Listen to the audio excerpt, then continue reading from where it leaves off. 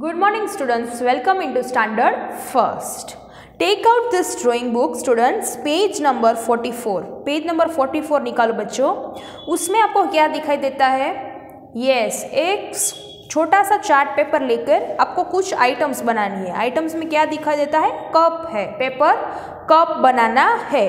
तो आपको छोटा सा चार्ट पेपर लेना है, कोई भी कलर आप, जो आपको मनपसंद है, वो आप कलर का इस्तेमाल कर सकते हो चार्ट पेपर में।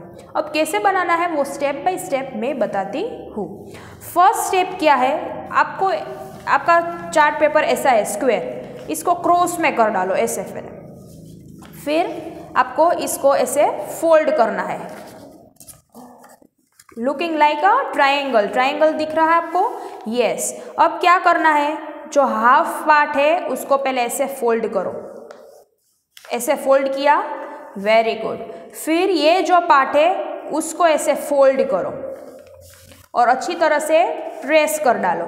अब जो ये पार्ट आपने इस तरफ़ टर्न किया, उसको यहाँ पर फेविकोल या गम के सहारे से चिपका दो, ऐसे, अच्छी तरह से ओके अब क्या करना है, जो ऊपर छोट ट्राइंगल दिख रहा है ना आपको, ऐसे जो ट्राइंगल उसको ऐसे फोल्ड करो, अंदर की तरफ़, ऐसे और प्रेस कर डालो।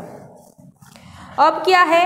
ये ट्राइंगल जो बच्चा है, उसको बार की तरफ़ आपको ऐसे फोल्ड करना है। अब ये देखो, अब यहाँ से आप देख सकते हो, ऐसे पेपर कप बन गया। इसमें आप कोई भी चीज़ रख सकते हो, घर में आपका पेंसिल, इरेजर, चॉकलेट्स वगैरह, ओके? आप जो समझ में ना आए, वो आपके पेज नंबर, ड्राइंग के पेज नंबर फोर्टी फोर पे part one, two, three, four और फाइव पार्ट्स में उसने बताया है कैसे आपको ये बाउल बनाना, पेपर कप बनाना है। तो आप उसमें से देखकर कर सकते हो इजीली। Okay, thank you.